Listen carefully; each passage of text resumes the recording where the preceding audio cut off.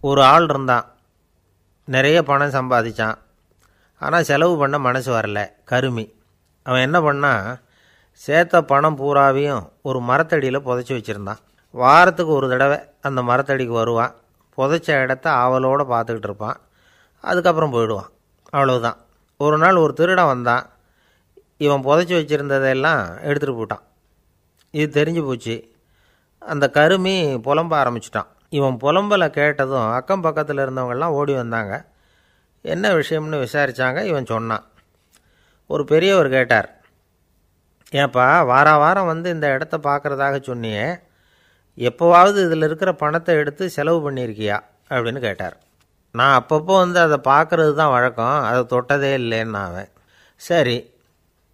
அப்படின்னா இப்போவும் நீ அதே மாதிரி வார வாரம் ஒரு தடவை வந்து இந்த இடத்த பார்த்துட்டு போகலாமே அப்படின்னாராம். அந்த பெரியவர். அதுவும் சரிதானே? எவ்வளவு காலமானாலும் அவன் அந்த பணத்தை எடுத்து செலவு பண்ண போகிறதில்ல அப்படி இருக்கிறப்ப உள்ளே பணம் இருந்தாலும் ஒன்று தான் இல்லாமல் போனாலும் ஒன்று தான் இதிலேருந்து என்ன புரியுதுன்னா ஒருத்தர்கிட்ட இருக்கிற பணத்தை கொண்டு அவர் பணக்காரரா ஏழையா அப்படின்னு முடிவு செய்கிறது சரியில்லை. அந்த செல்வத்தை அனுபவிக்கிற திறன் பயன்படுத்துகிற திறன் அதை வச்சு தான் அவர் ஏழையாக பணக்காரரா அப்படிங்கிறத நிர்ணயம் பண்ணணும். அதுதான் சரி. செலவு பண்ண தெரியாதவன் சேகரம் பண்ணிகிட்டே இருக்கிறதுனால என்ன பிரயோஜனம்? தலைமுடியே இல்லாதவன் தாராளமாக சீப்புகளை வாங்கி சேகரம் பண்ணுறது மாதிரி தானே இது? சில சமயம் செலவு பண்ண நாம் தயாராக இருந்தால் கூட அந்த செல்வம் நமக்கு பயன்படுறதில்ல. அரேபியாவில் ஒரு நகை வியாபாரி விலை உயர்ந்த முத்துக்களை எல்லாம் அவர் வச்சு வியாபாரம் பண்ணிகிட்டு இருந்தார். அவர் ஒரு சமயம் ஒரு பாலைவனம் வழியாக போயிட்டுருக்கிறார் ஒட்டகத்தில். அப்போது திடீர்னு கடுமையான புயல் வீச ஆரம்பிச்சுட்டுது. திசை தவறி இவர் எங்கேயோ வந்துட்டார். கூட வந்தவங்களையும் காணலை. எங்கே போனாங்களோ தெரியல. இவர் ரொம்ப பயந்து போய் அங்கே எங்கேயுமா அலைஞ்சு தெரிகிறார் வழியே தெரியல. பசி கடுமையாயிட்டுது. ஒட்டகத்து முதுகில் ஒரு மூட்டை இருந்தது. அதை பிரித்து பார்த்தார். உள்ளே ஏதாவது இருக்கான்னு தேடி பார்க்குறார். அது வரைக்கும் கண்ணில் தட்டுப்படாத அபூர்வமான ஒரு பை கண்ணில் பட்டுது. ஆஹா அதில் ஏதாவது சாப்பிட்றதுக்கு இருக்கும் அப்படின்னு நினச்சி ஆவலாக அதை பிரித்து பார்க்குறார் அந்த பையில் விலை உயர்ந்த முத்துக்கள் நிறைய இருந்துதான். அப்போ தான் அவர் நினச்சாராம் விலை உயர்ந்த முத்துக்கள் கூட சாப்பிட்றதுக்கு உணவாக முடியாது அப்படிங்கிறத புரிஞ்சுக்கிட்டாராம். எந்த நேரத்தில் எது நமக்கு தேவையோ அது நமக்கு தாராளமாக கிடைக்கணும். அப்படி அது கிடைக்கிறதுக்கு நம்மக்கிட்ட இருக்கிற செல்வம் பயன்படணும். அது நமக்கும் பயன்படலாம். நம்ம மூலமாக அடுத்தவங்களுக்கும் பயன்படலாம். அதுதான் செல்வத்தின் பயன். ஒரு மரத்தடியில் ஒருத்தன் உட்காந்து அழுதுகிட்டு இருந்தான். அந்த பக்கமாக வந்த இன்னொருத்தன் ஏப்பா அழுதுகிட்டு இருக்கிறேன்னு கேட்டான். இந்த இடத்துல தான் பூமிக்கு அடியில் பணம் இருக்குது. புதைச்ச இடம் தெரியல. அதான் அழறேன் அப்படின்னா நல்லா ஞாபகப்படுத்தி பாரு. எந்த இடத்துல புதைச்ச? அப்படின்னு கேட்டான் இவன். அது எப்படி எனக்கு தெரியும்? புதைச்சி வச்சிருக்கிறவன் நான் இல்லையே. எங்கள் எழுத்த வீட்டுக்காரன். அப்படின்னானா இவன். அந்த ஆள் என்னை கண்ணா பண்ணான்னு திட்டிவிட்டான் சார். அதை நினச்சா எனக்கு ரொம்ப வருத்தமாக இருக்குது அப்படின்னு சொல்லி கவலைப்பட்டார் ஒருத்தர். இதில் கவலைப்படுறதுக்கு என்ன இருக்குது அப்படின்னார் ஒரு பெரியவர். அவர் ஒரு மகான். என்ன சார் இப்படி சொல்கிறீங்க ஒருத்தர் நம்ம பார்த்து திட்டுனா வருத்தமாக இருக்காதா? அப்படின்னார். அது எப்படி வருத்தமாக இருக்கும்? திட்டுறதுங்கிறது என்ன? அது வெறும் சத்தம் தானே? அப்படின்னார் அந்த பெரியவர். நம்ம ஆளுக்கு தலையை பிச்சுக்கலாம் போல் இருந்தது. இருக்காத அப்படின்னா நமக்கே அப்படி தானே தோணுது? அந்த பெரியவர் சொல்கிறது ரொம்ப பெரிய விஷயம். அதை நாம் புரிஞ்சிக்க முயற்சி பண்ணலாம்னா நடைமுறை வாழ்க்கைக்கே அது ஒத்து வர்றது மாதிரி தெரிய மாட்டேங்குது. இருந்தாலும் அந்த பெரியவர் அதுக்கு என்ன தான் விளக்கம் கொடுக்குறாருன்னு பார்ப்போமே. ஒரு ரயில் போயிட்டுருக்கு. அதில் ஒரு சாது போயிட்டுருக்கார். அந்த ரயில் வந்து அவர் ஹரித்வாரம் போயிட்டுருக்கார் அவர். ரயிலில் ஏகப்பட்ட கூட்டம். நம்மூர் ரயில் கேட்க வேணும்? டிக்கெட் வாங்கிட்டு கொஞ்சம் பேர் வாங்காத கொஞ்சம் பேர். அது என்னத்துக்கு அனாவசியமாக டிக்கெட் அப்படிங்கிற நினப்பில் பாதி பேர் இந்த கூட்டத்துக்கு மத்தியில் அந்த சாதுவும் போயிட்டுருக்கிறார் உட்கார்றதுக்காக இருந்த இடத்துல ஒரு ஆள் படுத்துருக்கிறான். கொஞ்சம் முரட்டு ஆசாமி. அவன் கால் பக்கத்தில் கொஞ்சோண்டு இடம் பாக்கி இருந்தது. அந்த இடத்துல இந்த சாது உட்காந்துருந்தார் மெதுவாக உட்காந்துக்கிட்டார் போய். ஆனால் அந்த ஆள் ராத்திரி பூரா இவரை காலால் உதச்சிக்கிட்டே இருக்கிறான். அது இவருக்கு ரொம்ப அவமானமாக பட்டுது. அதனால் துக்கம் ஏற்பட்டுது. இருந்தாலும் அதை ஒரு மாதிரியாக சகிச்சுக்கிட்டே இவர் வந்து சேர்ந்தார். பொழுது விடிஞ்சது. அந்த சாது ஹரித்வார் வந்து சேர்ந்தார். அங்கே ஒரு பெரிய ஞானியை சந்தித்தார் ராத்திரி ரயிலில் அந்த ஆள் உதைச்சதையும் அதனால் தனக்கு ஏற்பட்ட துக்கத்தையும் இந்த சாது அந்த ஞானிகிட்ட சொன்னார். சொல்லிவிட்டு ஏன் சுவாமி எனக்கு துக்கம் ஏற்பட்டதே அது தப்பா? அப்படின்னு கேட்டார். தவறு தான்னார் அந்த ஞானி. உனக்கு இன்னமும் தேக அபிமானம் போகலைங்கிறது தான் அது காட்டுது. அஷ்டாவக்கிரர் என்ன சொல்கிறார் தெரியுமா? உண்மையான ஞானி யாராவது தன்னை வந்தனை செய்தால் அதற்காக சந்தோஷப்பட மாட்டார். யாராவது நிந்தனை செய்தால் அதற்காக வருத்தப்பட மாட்டார் அப்படின்னு சொல்கிறார் நிந்தனைங்கிறது ஒரு ஒலி தான். தேகாபிமானம் இருக்கிற வரைக்கும் இந்த ஒலி நம்மளை வந்து வேதனைப்படுத்தும். நான் தேகம் இல்லை ஆத்மா அப்படிங்கிற நினைவு இருந்தால் இந்த ஒலி நம்மளை பாதிக்காது. மனு என்ன சொல்கிறார் தெரியுமா? ஒரு சாதகன் பாராட்டுதலை விஷம்னு நினச்சி பயப்படணும். அவமானத்தை அமிர்தம்னு நினச்சி சந்தோஷப்படணுங்கிறார் அவமானப்பட்டால் கவலைப்படாமல் எப்படி இருக்க முடியும் அப்படின்னு தான் நமக்கு தோணும். அதனால தான் நம்மளில் யாரும் இதுக்கு உதாரணமாக யாரையும் காட்ட முடியல. புத்தரையும் கபீரையும் உதாரணமாக காட்டுறாங்க. அவங்களுக்கெல்லாம் அவமானம் ஏற்பட்டப்போ கவலையே படலையாம். புத்தரை வந்து அவமானப்படுத்தணுங்கிறதுக்காக கௌசாம்பி ராணி ஒரு இளம் பெண்ணை கொலை பண்ணி சடலத்தை புத்தர் குடிசைக்கு முன்னாடி போட சொன்னார். போட்டாங்க. புத்தர் தான் அந்த பொண்ணை கெடுத்து கொலை பண்ணிவிட்டாருன்னு எல்லாரும் நினச்சாங்க. ஆனால் புத்தர் இதை பற்றி கவலையே படலை. அப்புறமா உண்மை தெரிஞ்சதும் புத்தர் புகழ் இன்னும் அதிகமாயிட்டுது. ஒரு பெரிய சபையில் ஒரு மோசமான பொண்ணு நுழைஞ்சி தனக்கும் கபீருக்கும் சம்மந்தம் உண்டுன்னு சொன்னான் கபீர் கவலைப்படலை. அவங்க மாதிரியெல்லாம் நாமளும் இருக்க கற்றுக்கணும் நிந்தனை அபகீர்த்தி அவமானம் எல்லாம் ஆண்டவன் கொடுக்குற பிரசாதம்னு நினைக்கணும் அப்படின்னு சொல்கிறார் அந்த ஞானி. இதை கேட்ட இந்த காலத்து ஆசாமி ஒருத்தர் நான் கூட அப்படி தான் சார். யாராவது அவமானப்படுத்தினா கவலைப்பட மாட்டேன். நேற்று கூட ஒருத்தர் என்ன பலார்னு அரைஞ்சுட்டார். நான் கொஞ்சம் கூட கவலைப்படலை. பேசாமல் வந்துட்டேன்னார். ஏன் அப்படி வந்துட்டீங்க? அப்படின்னேன் அவர் அரைஞ்சதுலேயும் ஒரு அர்த்தம் இருந்தது. அதனால தான் அப்படி வந்துட்டேன்னார். ஏன் அரைஞ்சாருன்னு கேட்டேன். பத்து வருஷத்துக்கு முன்னாடி பதினஞ்சு ரூபா அவர்கிட்ட கடன் வாங்கினேன். அதை கேட்டு கேட்டு பார்த்துட்டு கடைசியாக தான் அரைஞ்சார். அப்படின்னார். ஆண்டவனுடைய பிரசாதம் இவருக்கு அடிக்கடி கிடைக்கும் போல இருக்குது ஒரு அரசனும் அமைச்சரும் ஒரு நாள் ரொம்ப சாவகாசமாக பேசிக்கிட்டு இருந்தாங்களாம். அரசன் அமைச்சரை பார்த்து ஒரு கேள்வி கேட்டிருக்கார். ஏங்க அமைச்சரே ஆசை இல்லாத ஒரு மனுஷனால் இருக்க முடியுமா? அப்படின்னு. ஏன் முடியாது. துறவி அப்படிங்கிறவங்கெல்லாம் அப்படிப்பட்டவங்க தானே அப்படின்னாராம் அமைச்சர். அவங்கெல்லாம் உண்மையிலேயே ஆசையை விட்டவங்க தானா? அப்படின்னு கேட்டாராம் ராஜா. அப்படி தான் இருக்கணும் அப்படின்னாராம் அமைச்சர். அப்படின்னா ஆசையே இல்லாத ஒரு உண்மையான துறவியை நான் பார்க்கணுமேன்னார். அது என்ன பிரமாதம்? அதுக்கு நான் ஏற்பாடு பண்ணுறேன் அப்படின்னு விட்டார் இவர். சொல்லிவிட்டு உடனே புறப்பட்டு போனார் அங்கே இங்கே தேடினார். அப்புறம் தான் அவருக்கு புரிஞ்சுது உண்மை துறவியை கண்டுபிடிக்கிறது எவ்வளவு கஷ்டமான காரியம்னு. இருந்தாலும் ராஜா கிட்ட சொல்லியாச்சே உண்மை துறவியை காட்டுறேன்னு. இப்போ என்ன பண்ணுறது ராஜா கிட்ட சொன்னபடி நடக்கலைன்னா அவருக்கு கோவம் வந்துடும் அமைச்சர் ஒரு யோசனை பண்ணார் அவருக்கு ஒரு வழி தெரிஞ்சுது. அதுதான் சரின்னு முடிவு பண்ணார். அதாவது அந்த ஊரில் அவருக்கு தெரிஞ்ச நாடக நடிகர் ஒருத்தர் இருக்கிறார். நல்லா நடிப்பார். அவரை போய் பார்த்தார். இதை பாருப்பா எனக்காக நீ ஒரு காரியம் செய்யணும்னார். என்னன்னு கேட்டார் அவர். நீ ஒரு துறவி மாதிரி கொஞ்சம் நேரத்துக்கு நடிக்கணும். ராஜா வந்து உன்னை பார்த்துட்டு போகிற வரைக்கும் நடி. அது போதும். அதுக்காக உனக்கு 10000 ரூபா தரேன் அப்படின்னார். அவர் எந்த காலத்தில் இவ்வளவு பணத்தை மொத்தமாக பார்த்துருக்கார்? அதனால் உடனே சரின்னு ஒத்துக்கிட்டார். அமைச்சர் வந்து அரண்மனைக்கு திரும்பி வந்தார். என்ன அமைச்சரே? இன்னுமா ஒரு உண்மையான துறவி கிடைக்கலன்னார். உண்மையான துறவி ஒருத்தரை இப்போ தான் கொஞ்ச நேரத்துக்கு முன்னாடி பார்த்து பேசிவிட்டு வர்றேன். அவர் நம்ம ஊருக்கு வெளியில் குளத்தங்கரையில் உள்ள ஒரு ஆலமரத்துக்கு அடியில் உட்காந்துருக்கிறார் அப்படின்னார் இவர். அப்படின்னா உடனே புறப்படுங்க அப்படின்னார் ராஜா. பரிவாரங்களோடு புறப்பட்டார்.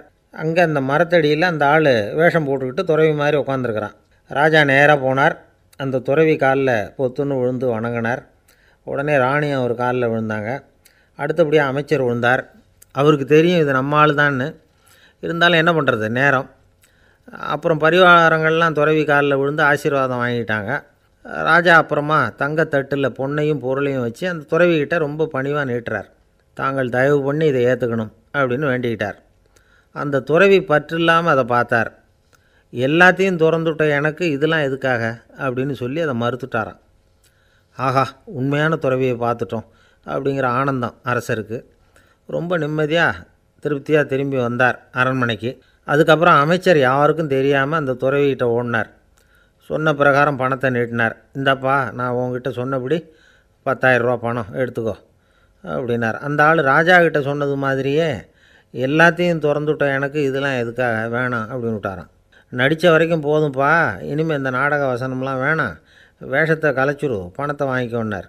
இல்லைங்க இது வேஷம் இல்லை. இது வசனமும் இல்லை. இது உண்மை. கொஞ்ச நேரம் துறவி மாதிரி நடித்ததுக்கே இந்த தேசத்து ராஜா ராணி அமைச்சர் பரிவாரங்கள் எல்லாம் என் காலில் விழுந்து வணங்குறாங்க. அப்படின்னா உண்மையான துறவியாக இருக்கிறது எவ்வளவு பெருமையான விஷயம். நான் உண்மையான துறவியாக ஆக போகிறேன் அப்படி முடிவும் பண்ணிட்டேன். அப்படின்னார் அந்த நடிகர். வேஷம் கூட எப்படிப்பட்ட விளைவுகளை உண்டு பண்ணுது பார்த்தீங்களா? நம்மால் ஒருத்தன் ரொம்ப வசதியாக தான் இருந்தான். ஒரு நாள் அவன் சொத்து பூரா திருட்டு போட்டுது அதுக்கப்புறம் இவன் துறவி மாதிரி ஆயிட்டான். ஊர் ஊராக சுற்றினான் ஒரு குருநாதரை தேடி கண்டுபிடிச்சான். அவர்கிட்ட சீடனாக சேர்ந்துக்கிட்டான். அவனை பார்த்து ஒருத்தர் கேட்டார் நீ உண்மையான சீடன் தானான்னு. இல்லைங்க சீடன் மாதிரி நடிச்சுக்கிட்டு இருக்கிறேன் அப்படின்னா அது குரு துரோகம் இல்லையா? அப்படின்னு கேட்டார் அவர். இல்லைங்க நான் பண்ணது குரு துரோகம் இல்லை. என் குரு பண்ணது தான் துரோகம். என்னுடைய பணத்தை கொள்ளையடித்தது இவர் தான் அதை எங்கே வச்சுருக்காருன்னு கண்டுபிடிக்கிறதுக்காக தான் இவர்கிட்ட வந்து சீடை நான் சேர்ந்துருக்கிறேன் அப்படின்னா. ஒரு சின்ன பையன் வந்தான். அவனை பார்த்து ஒரு கேள்வி கேட்டோம். ஏன்ப்பா உங்கள் வீட்டில் அம்மா புத்திசாலியா அப்பா புத்திசாலியா? அப்படின்னு. அவன் அலட்சியமாக நம்மளை பார்த்து சிரிக்கிறான். என்ன சார் இது இந்த காலத்தில் இது கூட தெரியாமல் இருக்கிறீங்களே? அப்படிங்கிறான். ஒரு சின்ன பையன் நம்மளை பார்த்து இப்படி கேட்டு விட்டானே அப்படின்னு நினைக்கிறப்போ நமக்கு ஒரு மாதிரி ஆகிடும் அதுக்கப்புறம்தான் இந்த தாத்தா பாட்டிலாம் சொல்கிற ஒரு கதை ஞாபகத்துக்கு வந்தது. அது என்ன கதை தெரியுமா? ஒரு ஊரில் ஒரு அம்மாவும் பிள்ளையும் இருந்தாங்களாம். அந்த மகனுக்கு திடீர்னு தேசாந்திரம் போய் வரணும்னு ஆசை வந்துட்டுது. ஊர் ஊராக போய் சுற்றி பார்க்கணுங்கிற ஆசை. அந்த அம்மாவுக்கு இது பிடிக்கல. மகனை பிரிஞ்சு இருக்கிறதுக்கு அவங்க மனசு இடம் கொடுக்கல. வேணாப்பான்னு சொல்லி பார்த்தாங்க. அவன் கேட்கல. திடீர்னு புறப்படவும் செஞ்சுட்டான். சரி இனிமேல் அவனை தடுக்க முடியாதுன்னு முடிவு பண்ணிட்டாங்க அந்த அம்மா. இருந்தாலும் புத்திசாலித்தனமாக ஒரு யோசனை பண்ணாங்க. மகனை கிட்டத்தில் கூப்பிட்டாங்க. அவங்ககிட்ட சொன்னாங்க இதை பாருப்பா நீ தேசாந்திரம் போகிறதுன்னு தீர்மானம் பண்ணிவிட்ட. அதை நான் தடுக்கலை. போயிட்டு வந்துடும் ஆனால் போகிறதுக்கு முன்னாடி எனக்கு ஒரு வாக்குறுதி கொடுத்துட்டு போ அப்படின்னாங்க. போகிறப்போ ராத்திரியாக இருந்தாலும் பகலாக இருந்தாலும் சரி புளிய மரத்து நிழலில் தான் தங்கணும். திரும்பி வர்றப்போ இரவும் பகலும் நீ வந்து வேப்ப மரத்து நிழல்லே தங்கணும். அப்படின்னாங்க. சரி அப்படியே செய்கிறேன்னு சொல்லி வாக்குறுதி கொடுத்தான் பையன். புறப்பட்டு போனான். போகிற வழியில் புளிய மரத்து நிழல்லையே தங்கினான் தூங்கினான். அப்படி போய்கிட்டே இருந்தான் ஏழாவது நாள் அவன் உடம்பு சுகம் இல்லாமல் போயிட்டுது. ரொம்பவும் பலவீனமாயிட்டான். இனிமேல் நடக்க முடியாதுங்கிற நிலமை வந்துட்டுது. யோசித்து பார்த்தான். சரி இதுக்கு மேலே வந்து போக வேண்டாம் அப்படின்னு முடிவு பண்ணிட்டு திரும்பி வர ஆரம்பிச்சிட்டான். திரும்பி வர்றப்போ வழியில் வேப்ப மரத்து நிழலையே தங்கி தங்கி வந்தான். நாளுக்கு நாள் உடம்பு சரியாக வந்துட்டுது. ஏழாவது நாள் வீட்டுக்கு வந்து சேர்றான். உடம்பு பழையபடியே கலகலப்பாயிட்டுது. பூரண சுகம். தேசாந்திரம் போன பையன் திரும்பி வந்துட்டானே அப்படின்னு அந்த அம்மா ஆச்சரியப்படலை. ஏன்னா அவங்களுக்கு தெரியும் இப்படி ஆகும்னு. பையன் சீக்கிரமாக திரும்பி வரணுங்கிறதுக்காக தான் அவங்க அந்த யோசனையை சொன்னாங்க. என்ன விஷயங்கிறதையும் அவங்களே சொன்னாங்க. மகனே புளிய மரத்து நிழல் உடம்புக்கு உஷ்ணத்தை கொடுக்கும். சீக்கம் உண்டாக்கும். அதனால் நீ வந்து தொடர்ந்து புளிய மரத்து நிழலில் தங்கினாவே நோய்க்கு வந்து ஆளாயிட்ட அதனால் அதனால் பயணத்தை வந்து முடிச்சுக்கிட்டு திரும்பி வரணுங்கிற முடிவுக்கு வந்துட்ட. திரும்பி வர்றப்போ நீ தங்கினது வேப்ப மரத்து நிழல். அது உடம்புக்கு வந்து குளிர்ச்சியை தரக்கூடியது நோயை தீர்க்கக்கூடியது. அதனால் சுகமாக வீட்டுக்கு வந்து சேர்ந்துட்ட. உன்னோட தேசாந்திர பயணத்தை தடுக்கிறதுக்காக தான் இப்படி பண்ணினேன் அப்படின்னாங்களாம் அந்த அம்மா. பார்த்தீங்களா அம்மாவோட புத்திசாலித்தனத்தை. அப்பாவாக இருந்தால் இப்படியா பண்ணுவார்? ஒரு அப்பா வந்து பையன்கிட்ட பத்து ரூபா கொடுத்து இதை எடுத்துக்கிட்டு அடுத்த ஊருக்கு போய் அங்கே இருக்கிற மாமா கிட்ட இதை கொடுத்துட்டு வாடா. வழியில் எங்கேயாவது மரத்தடியில் படுத்து தூங்கி விடாதே அப்படின்னு எச்சரிக்கை பண்ணி அனுப்புனாராம்.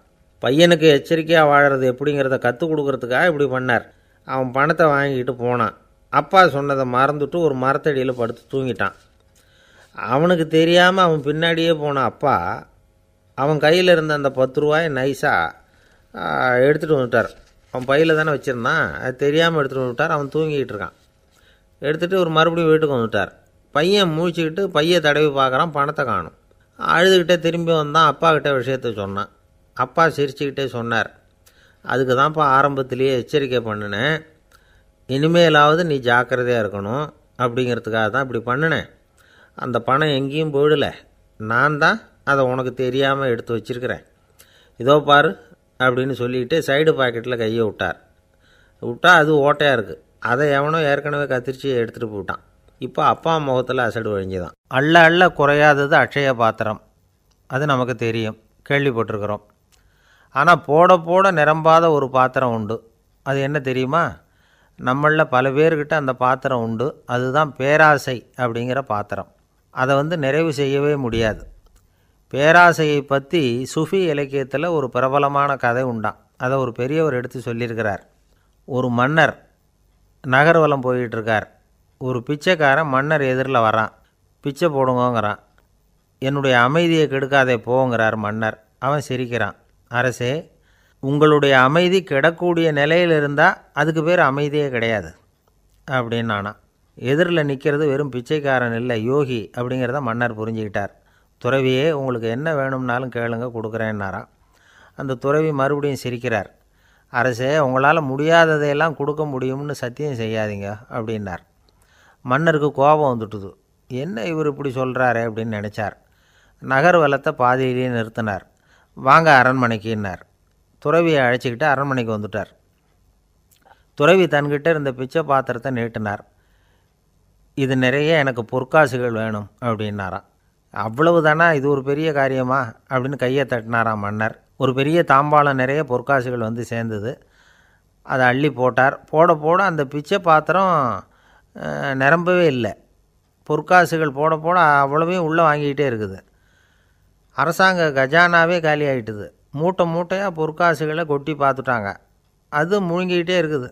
கடைசி வரைக்கும் அந்த பிச்சை பாத்திரம் வந்து நிரம்பவே இல்லை. அரசர்கிட்ட இருந்த கர்வம் போயிட்டுது. அப்படியே பொத்துன்னு துறவி காலில் விழுந்தார். அப்போ அந்த துறவி சொன்னாராம் மன்னா இந்த பிச்சை பாத்திரத்தை உங்களால் மட்டும் இல்லை வேறு யாராலையும் நிரப்ப முடியாது. அதுக்கு என்ன காரணம்னா இது வந்து சாதாரண பிச்சை பாத்திரம் இல்லை. பேராசைகளோடு வாழ்ந்து செத்துப்போன ஒரு மனிதனின் மண்டை ஓடுது அப்படின்னாராம். பாருங்கள் இதுதான் அந்த சுஃபி இலக்கிய கதை. செத்த பிறகும் நிறைவு இல்லைன்னா அது எப்பேற்பட்ட பேராசையாக இருக்கும்னு யோசித்து பார்த்துங்க நம்மால் ஒருத்தர் கல்யாணம் பண்ணிக்க பொண்ணு பார்த்துக்கிட்டு இருந்தார். அழகு அறிவு படிப்பு எதுவும் தேவையில்லை. பணம் மட்டும் இருந்தால் போதும் அப்படின்னு பார்க்குறவங்ககிட்டலாம் சொல்லி வச்சார். ரொம்ப நாளைக்கு அப்புறம் ஒரு பணக்காரர் கிடைச்சார். அவர் சொன்னார் இதை பாருங்கள் எனக்கு இருபது வயசில் ஒரு மகள். அவளை நீங்கள் கல்யாணம் பண்ணிக்கிட்டால் ரெண்டு லட்சம் பணம் கொடுப்பேன். இருபத்தஞ்சி வயசில் ஒரு பொண்ணு. அவளை கல்யாணம் பண்ணிக்கிட்டா ரெண்டரை லட்சம் தருவேன். முப்பது வயசில் ஒரு பொண்ணு இருக்கா. அவளை கல்யாணம் பண்ணிக்கிட்டா மூணு லட்சம் தருவேன். என்ன சொல்கிற அப்படின்னாராம். இவன் கொஞ்ச நேரம் யோசித்து பார்த்துருக்கான். அதுக்கப்புறம் மெதுவாக அவரை நிமிந்து பார்த்து ஏன் சார் உங்ககிட்ட ஐம்பது வயசில் ஏதாவது பொண்ணு இருக்கா? அப்படின்னு கேட்டானா சில பேரை இப்படி சொல்கிறது உண்டு. அடுத்தவங்களை அனுசரித்து நடந்துக்க தெரியல. அவன் என்ன சார் மனுஷன்? அப்படிம்பாங்க. சக மனிதர்களோட எப்படி பழகிறது அப்படின்னு தெரியாதனாலேயே பல பேர் இன்றைக்கி சங்கடப்பட்டுக்கிட்டு இருக்கிறாங்க. வசதி வாய்ப்பெல்லாம் சரியாக இருக்கும். ஆனால் வாழ்க்கை சரியாக இருக்காது. இன்னொருத்தர்கிட்ட எப்படி பேசுறது பழகிறதுங்கிறது தெரியாததுனால தான் இந்த அவஸ்தை. சரி இந்த அவஸ்தை இல்லாமல் வாழறது எப்படி? இதுக்கு அனுபவசாலிகள் சில வழிமுறைகளை சொல்கிறாங்க அதெல்லாம் என்னென்னங்கிறத இப்போ தெரிஞ்சுக்குவோம். முதல்ல நம்ம நாக்கு நம்ம கண்ட்ரோலில் இருக்கணும். வார்த்தைகளை வந்து கொட்டிவிட்டு அதுக்கப்புறம் அள்ள முடியாமல் கடந்து கஷ்டப்படக்கூடாது. எப்படி பேசுகிறோங்கிறதும் முக்கியம். பேசுகிறப்ப எப்படி முகத்தை வச்சுருக்கிறோங்கிறதும் முக்கியம். அன்பாக பேசினாலும் நல்லாயிருக்கும். அப்படி பேசுகிறப்ப ஆதரவாக அவர் தோல் மேலே ஒரு கையை போட்டுக்கிட்டு பேசினா இன்னமும் நல்லாயிருக்கும். ரெண்டாவது விஷயம் இன்னொருத்தர்கிட்ட பேசுகிறப்ப வாக்குறுதிகளை அள்ளி வீசக்கூடாது. கொடுக்குற வாக்குறுதி குறைச்சலாக இருக்கணும். அப்படி கொடுத்த வாக்குறுதியை கண்டிப்பாக நிறைவேற்றணும். நாம் ஒருத்தரை பாராட்டுறோம் அல்லது அவரை பற்றி அபிப்பிராயம் சொல்கிறோம்னா அது ஆக்கப்பூர்வமாக இருக்கணும். நம்ம பாராட்டு அல்லது விமர்சனம் அடுத்தவருடைய முன்னேற்றத்துக்கு உதவுறது மாதிரி இருக்கணும். நாம் சொல்கிறத கேட்டுட்டு அவன் தலையில் கையை வச்சுட்டு உட்காந்துடக்கூடாது எப்பவும் உற்சாகமாக இருக்கணும் முகம் அலர்ச்சியாக இருக்கணும். மனுஷன் இருந்தால் வருத்தம் கவலை ஏமாற்றம் எல்லாம் இருக்க தான் செய்யும். அதெல்லாம் மனசில் இருக்கட்டும். அந்த வருத்தமும் கவலையும் ஏமாற்றமும் சேர்ந்துக்கிட்டு நம்ம முகத்தில் இருக்கிற மலர்ச்சியை மூடி மறைக்கிறதுக்கு நாம் இடம் கொடுத்துடக்கூடாது. எந்த விஷயத்தை பற்றி யாருக்கிட்ட பேசினாலும் வெளிப்படையாக பேசணும். திறந்த மனசோடு பேசணும். மூடி மறைச்சி முன்னு மூழ்கிக்கிட்டு இருக்கக்கூடாது. இன்னொருத்தர்கிட்ட பேசுகிறப்போ விவாதம் பண்ணுங்க அது தப்பு இல்லை. ஆனால் வாதாடிக்கிட்டு இருக்கக்கூடாது. அதாவது என்ன சொல்கிறாங்கன்னா டிஸ்கஸ் பண்ணலாம் ஆர்கியூ பண்ணக்கூடாதான். நம்மக்கிட்ட இருக்கிற நல்ல குணங்களை நாம் எடுத்து சொல்லிகிட்டு இருக்கக்கூடாது. அந்த நல்ல குணங்களே நம்மளை பற்றி எடுத்து சொல்லணும். அது மாதிரி நடந்துக்கணும். அதே மாதிரி அடுத்தவங்க கிட்ட உள்ள கெட்ட குணங்களை பற்றி அவசியம் இல்லாமல் நாம் பேச வேண்டியதில்லை. உங்களை பற்றி யாராவது தப்பாக பேசுகிறாங்களா அப்படி அவங்க பேசுகிறதுல உண்மை இல்லையா? அப்படின்னா அதை நீங்கள் பொருட்படுத்த வேண்டியதில்லை. விட்டுடலாம் அது தானாக போயிடும். ஒரு நாலஞ்சு பேரோட பேசிக்கிட்டு இருந்தீங்கன்னா எல்லாருக்கும் முக்கியத்துவம் கொடுங்க. யாரையும் அலட்சியப்படுத்தாதீங்க. தமாஷா பேசலாம். ஆனால் அவங்க தமாஷ் வந்து அடுத்தவங்கள வந்து கேலி பண்ணுறதா இருக்கக்கூடாது. நமக்கு கிடைக்க வேண்டியது கிடைக்கலையே அப்படிங்கிற தவிப்பு நம்மக்கிட்ட இருக்கக்கூடாது. அது தேவையில்லை. உங்கள் செயல்பாடுகள் தெளிவாக இருக்கட்டும். பாராட்டு தானாக அவங்கள தேடிட்டு வரும். இன்னொரு மனுஷனுடைய மனசில் கௌரவமான ஒரு இடத்த பிடிக்கணும்னா நாம் இந்த குணத்தையெல்லாம் நம்மக்கிட்ட வளர்த்துக்கணும். இதெல்லாம் வந்து அனுபவசாலிகள் சொல்லியிருக்கிற குறிப்புகள். இந்த குறிப்புகளை வந்து சரியாக புரிஞ்சுக்கணும். அது முக்கியம். தப்பாக புரிஞ்சுக்கிட்டா என்ன ஆகும் தெரியுமா? இதை கேளுங்க. ஒருத்தர் வந்தார். சார் அடுத்தவங்க தோள் மேலே கையை போட்டுக்கிட்டு அன்பாக பேசணும்னு சொன்னீங்க. அப்படி தான் பேசினேன் அவர் முதுகை கூட தட்டி கொடுத்தேன். என் வேலை போயிட்டுது சார். வீட்டுக்கு அனுப்பிச்சிட்டாங்க அப்படின்னார். யாருக்கிட்ட அப்படி பேசுனீங்கன்னு கேட்டோம். என் முதலாளிகிட்ட சார் அப்படிங்கிறார் ரொம்ப சோகமாக ஒருத்தர் ரொம்ப அவசரமாக வந்தார். சார் மனுஷன் நிம்மதியாக இருக்கிறதுக்கு என்ன வழின்னு கேட்டார். சீக்கிரமாக ஒரு கல்யாணத்தை பண்ணிங்க எல்லாம் சரியாக போடும் அப்படின்னோம். அவர் ஒரு மாதிரியாக பார்த்தார். ஏற்கனவே எனக்கு கல்யாணம் ஆயிட்டுது சார். அதனால தானே நிம்மதியாக இருக்கிறதுக்கு வழி கேட்குறேன் அப்படின்னார். சரி இவர் ஒரு மாதிரியான கேஸ் அப்படின்னு நினச்சிக்கிட்டு நம்மக்கிட்ட இருந்த ஒரு சின்ன புத்தகத்தை அவர்கிட்ட தூக்கி கொடுத்தோம். இதை படித்து பாருங்கன்னு. கல்யாணத்துக்கு பிறகும் சந்தோஷமாக இருக்கிறதுக்கு என்ன வழி? அப்படிங்கிற கேள்விக்கு அந்த புத்தகத்தில் விளக்கம் இருந்தது. கணவன் மனைவிக்குள்ளே சிக்கல் வராமல் இருக்கிறதுக்கு அதில் சில வழிகளை சொல்லி கொடுத்துருக்குறாங்க. அதெல்லாம் என்னென்ன? அப்படிங்கிறத இப்போ பார்க்கலாமா? குடும்பம்னு இருந்தால் கோபம் வரதான் செய்யும். அது வந்துட்டு போட்டும் பரவாயில்ல. ஆனால் அந்த கோபம் ஒரே நேரத்தில் ரெண்டு பேருக்கும் வந்துடாமல் பார்த்துக்கணும் ஒரு சமயத்தில் யாராவது ஒருத்தர் தான் கோவப்படணும் அடுத்தவங்க அமைதியாக இருக்கணும். அதுக்கப்புறம் இவர் அமைதியான உடனே அவங்க ஆரம்பிச்சிக்கலாம்.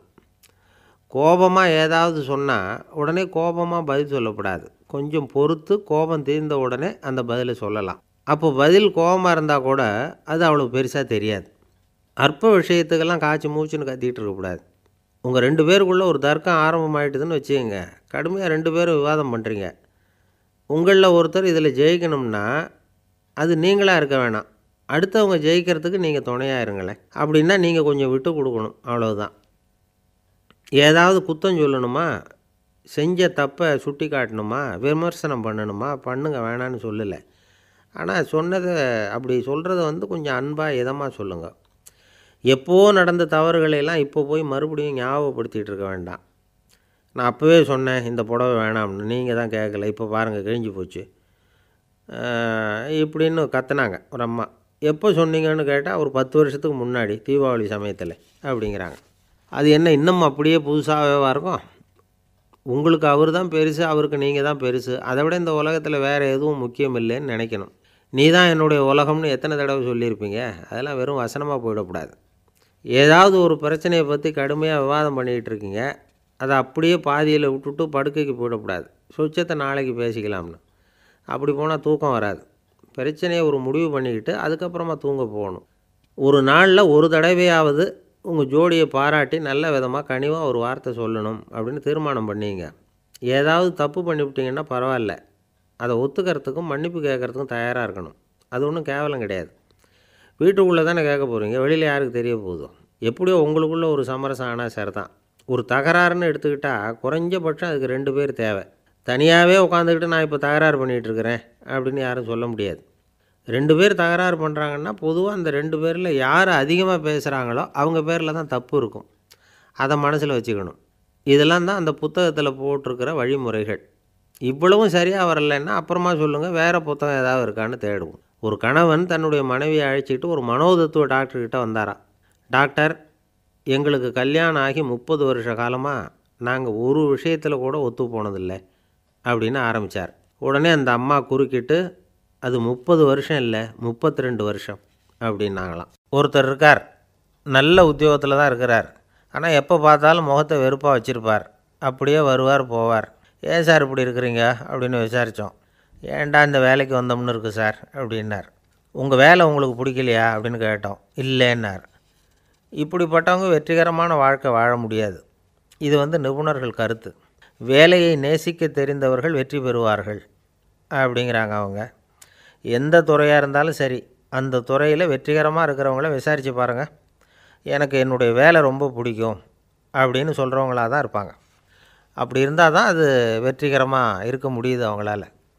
ஒருத்தனுக்கு பிடித்தமான பொழுதுபோக்கே அவனுடைய தொழிலாக இருந்துட்டுதுன்னா அவனை மாதிரி கொடுத்து வச்சவன் வேறு யாரும் இல்லை அப்படிங்கிறார் பெர்னாட்ஷா ஒரு தடவை மன்னர் ஹுமாயூன் உயிரை வந்து தண்ணீர் முண்டு ஊற்றுகிற தொழிலாளி ஒருத்தர் காப்பாற்றினாராம் அந்த ஹுமாயூன் உயிரை. உடனே மன்னர் கேட்டிருக்கார் உனக்கு என்ன வேணும்னாலும் கேள் தரேன் உயர் பதவி வேணுமா? அப்படின்னு கேட்டாராம். மன்னா மக்களின் தாகம் தீர்க்கக்கூடிய இந்த பணியை விட உயர்ந்தது உண்டா? அப்படின்னாராம் அந்த தொழிலாளி. அவரால் அவருடைய வேலையை நேசிக்க முடிஞ்சுது. அதனால் மகிழ்ச்சியாக இருக்க முடிஞ்சுது. நாமெல்லாம் அப்படி இல்லை.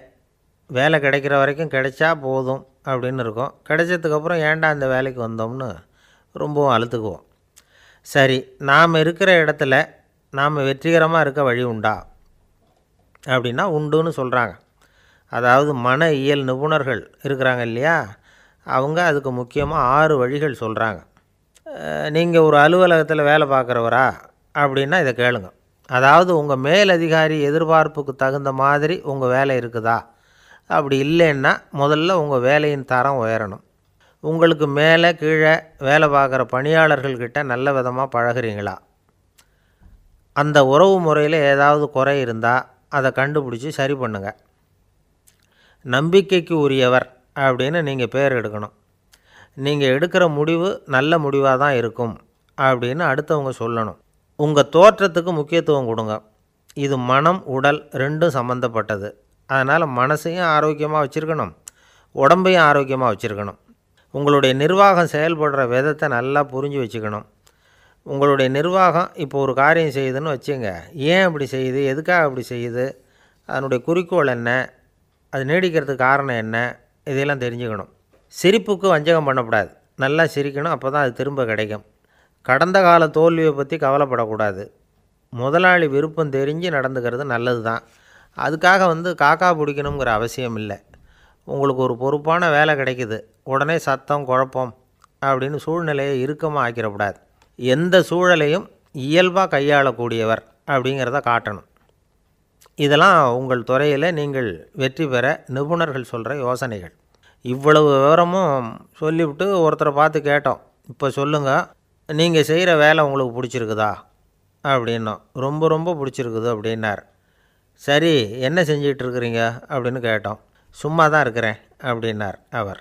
இந்த உலகமே ஒரு நாடக மேடை. நாம் எல்லாரும் நடிகர்கள். இது வந்து ஞானிகள் சொல்கிறது இது ஒரு பக்கம் இருக்கட்டும். இந்த உலகத்துக்குள்ளே எத்தனையோ நாடக மேடைகள் எத்தனையோ நடிகர்கள் எத்தனையோ நாடகங்கள் இதெல்லாம் எப்படி ஆரம்பமாச்சு? அதுதான் இன்றைக்கி தகவல். அதாவது ஆதி மனிதன் பேச ஆரம்பிக்கிறதுக்கு முன்னாடி சைகையாலேயே எல்லாத்தையும் சொல்லிகிட்டு இருந்தான். அதனால் அப்போவே நடிப்பு ஆரம்பமாயிட்டுது.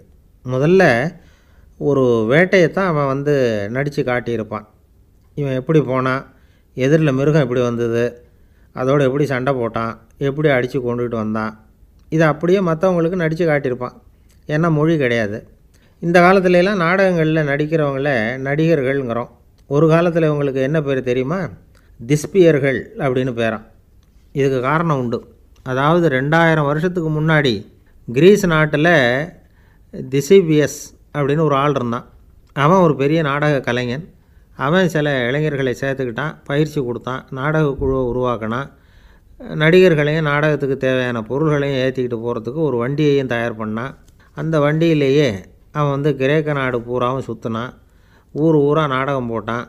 ஒரு ஊருக்கு போனதும் அங்கே நாடகம் நடத்த தேட்டர் இருக்கா அப்படிங்கன்னெல்லாம் பார்க்குறதில்ல அவன். ஏன்னா அப்போலாம் தேட்டர்னால் என்னென்னு தெரியாது. நாடகம்னா அதை ஒரு மூடிய கொட்டைக்குள்ளே தான் நடத்தணுங்கிறது அப்போ யாருக்குமே தோணலை. இந்த வண்டி போகும். அதுவே ஒரு பகுதி. அப்படியே ஒரு மேடை மாதிரி விரிச்சிக்கும். அதில் ஏறி நின்றுக்கிட்டு நாடகத்தை நடித்து காட்டுவாங்களாம்.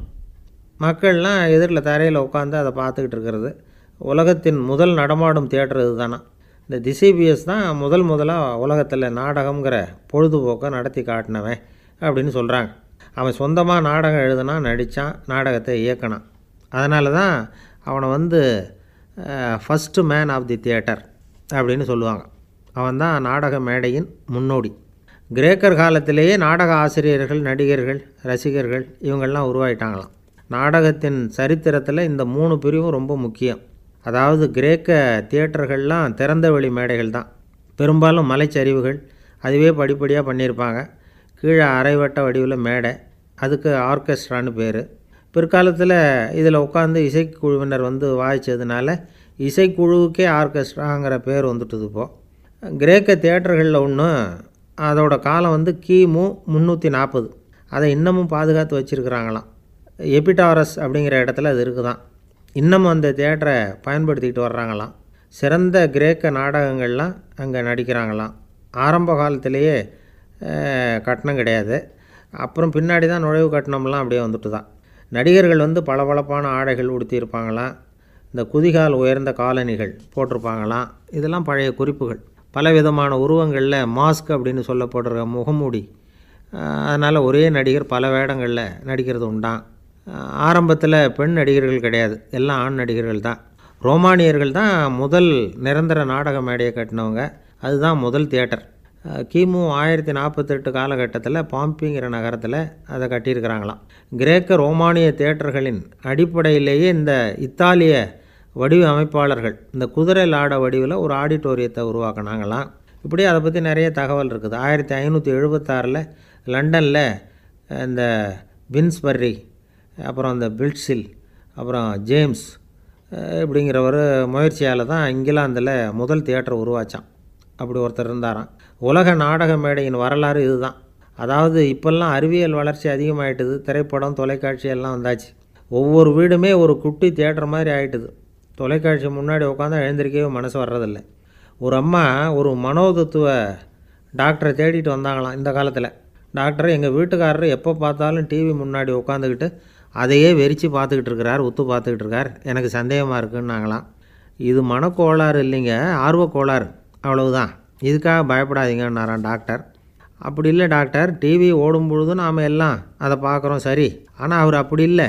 டிவியை நிறுத்தினதுக்கு அப்புறமும் அதையே உத்து பார்த்துட்டு உட்காந்துருக்கிறார் அதனால தான் சந்தேகப்பட்டு உங்ககிட்ட வந்தேன் அப்படின்னாங்களாம்